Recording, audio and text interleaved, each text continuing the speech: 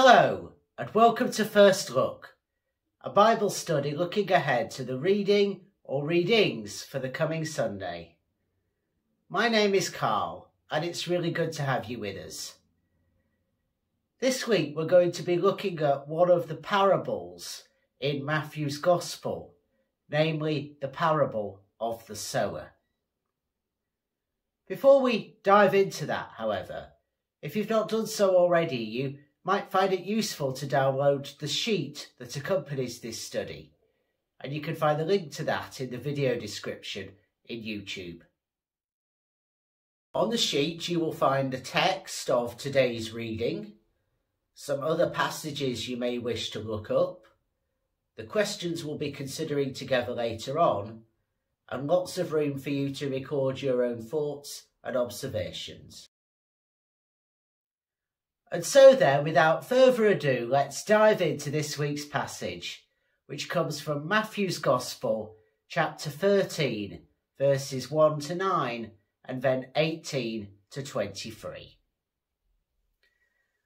Jesus was, we learn in Matthew chapter 12, still in the Galilean phase of his ministry, and being followed, as we learn in verse 15, by huge crowds of people and he found himself, as we see particularly verses 22 to 45, caught in controversy with the Pharisees, some of whom accused him of being demon possessed and saying that's why Jesus was able to cast out demons. And they demanded he perform some sort of sign, apparently to reassure them about who he was. He then scandalized the crowds that had been gathered around him by reacting to his mother and his brothers seeking him out, by declaring that those who do the will of the one who sent him, God the Father, are his mother and sister and brothers. No, not father. And that meant that he was putting loyalty to God above blood ties, which, given how important family ties were to the people of Israel, familial relationships were thought to mirror the relationship between God and the people. This was a big deal. That's chapter 12, verses 46 to 50. Now we're told that the action in today's passage begins on the same day as all of that happened, with Jesus staying in a house seemingly close to the Sea of Galilee, as implied by chapter 13, verse 1. And we don't know exactly where this occurred, but it was probably somewhere on the near to the shore of Galilee, just to the west of Capernaum. So in this passage, we obviously have Jesus, and he was teaching the crowd of people gathered around him using parables. And in the bit that the lectionary this week misses out, in chapter 13, verses 10 to 17, we see the disciples questioning Jesus about his use of parables as a teaching tool.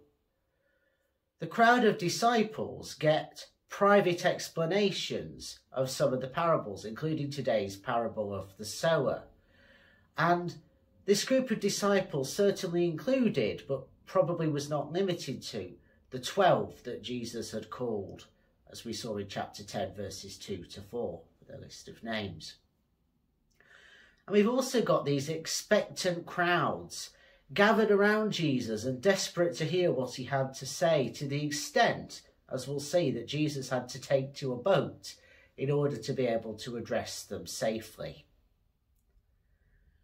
Now, Matthew's Gospel was the second of the canonical Gospels to be written, likely around 75 to 80 of the Common Era. So after the fall of Jerusalem and its temple in the year 70, they were destroyed by the Romans which had a profound effect on Jewish religious identity. And Matthew's is the most overtly Jewish of the four Gospels, which has an impact on how Matthew presents matters. But I think here perhaps the most significant detail is the fact that Mark's Gospel we know was one of the sources for Matthew's Gospel. So in today's passage where we've got a parable followed by an explanation, we may want to take a look at that earlier version. We might want to look therefore at Mark's Gospel, chapter 4, verses 1 to 20, which also has this interlude where the disciples asked why Jesus uses parables and also offers an explanation. There are other passages from Matthew's Gospel that give us examples of the kinds of things Jesus is alluding to in this parable. So if we look, for example, at Matthew 3.19, we find one example of someone just not understanding the gospel. And this is something that particularly the religious leaders that Jesus was in conflict with seem to do again and again.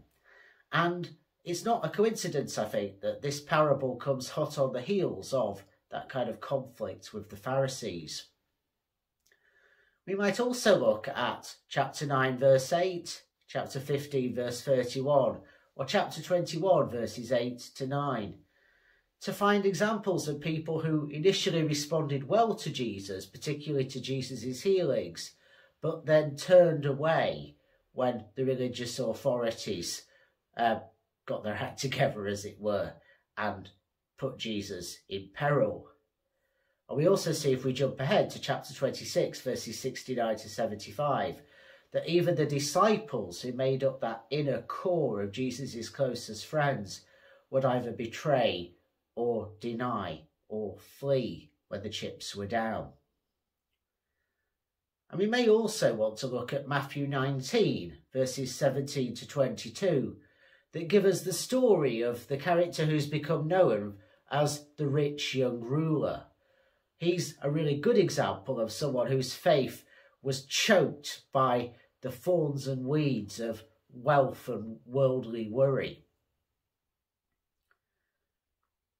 So, for Dale Allison, in his very helpful commentary on this passage, the content of the whole of Matthew 13 serves to go some way to explain why it was that the Messiah was rejected by some of the people of Israel. And thus it naturally follows on from that conflict in chapters 11 and 12.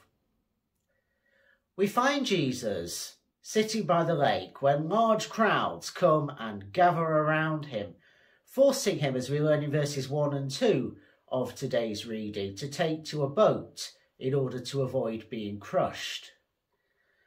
Now, if you visit the Sea of Galilee, uh, on the shore of the lake, just to the west of Capernaum, there are various little inlets.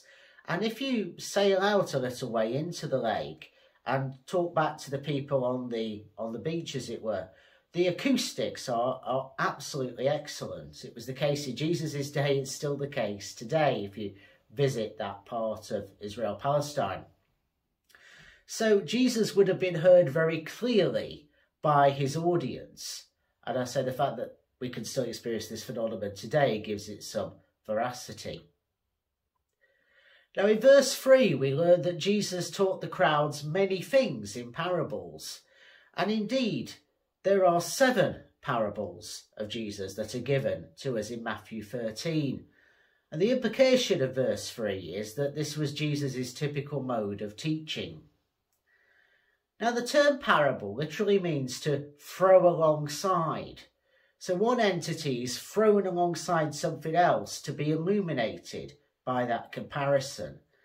And in this case, generally what's being illuminated is the life of the kingdom of God. Though Jesus doesn't use the formula here about to what shall we compare the kingdom of God, for example. He just dives straight in to the parable. So this has a slightly different beginning to some of them. Now, the parable of the sower, by beginning with Jesus saying, listen, in verse 3, effectively begins by him saying, listen up and take notice. And that will be repeated in verse 9, where Jesus says, let those who have ears listen. I have to say, I was thinking ears of wheat, ears of corn, and wondering if there was some kind of wordplay there. Uh, but I think the, the important thing here is that we really need to pay attention. Jesus is highlighting that this is important. Indeed, important enough for us to see it explained to the disciples in verses 18 to 23. One of the very rare occasions where Jesus offers an explanation of an allegorical parable. Having said that, his sit up and take notice effectively highlights how he didn't spoon feed the crowds what they were supposed to take from the parables. And indeed, we don't see Jesus explaining every last thing to the disciples. They too need to chew these stories over and sit with them and think and perhaps have their minds changed and their preconceptions challenged. Now, key to this parable, still with verse 3, is the extravagance we see of the seed scattering. I've got into gardening in recent years, and one of the things I've learned is the need to be careful with how you plant the seeds to make sure they're sufficiently far apart and in the right kind of soil as far as you can in the garden you've got and so forth. Whereas the sower here just throws them about extravagantly, abundantly. And it reminds us, I think, that God will keep sowing seeds of grace, even in the most apparently unlikely places. And even, therefore, in the heart of the disciples who were being given the private explanation later on. Now, as we've already noted, it's not difficult to find examples of people who behave like what's implied by the three unhelpful, as it were, types of soil in verses 4 to 7. The hard ground, the pathways where nothing will grow, the rocky ground where things will grow very well initially and then wither when the sun kicks in because they don't have deep roots, and those that are choked off by thorns and weeds that don't allow them to, to grow.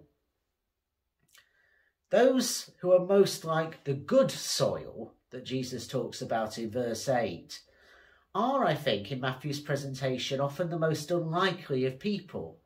For example, the tax collectors, sinners, and prostitutes of chapter 21, verses 31 to 32. In Matthew's Gospel, there's an emphasis in chapter 25, verses 31 to 46 on what you do for the least of these in worldly terms. You do for me. And I think it's there where we're talking about people who might be considered the least of these, where we see a good soil naturally occurring. Now, when Jesus goes on to explain this parable to his disciples, he talks about the seed as the word of the kingdom. That's verse 19.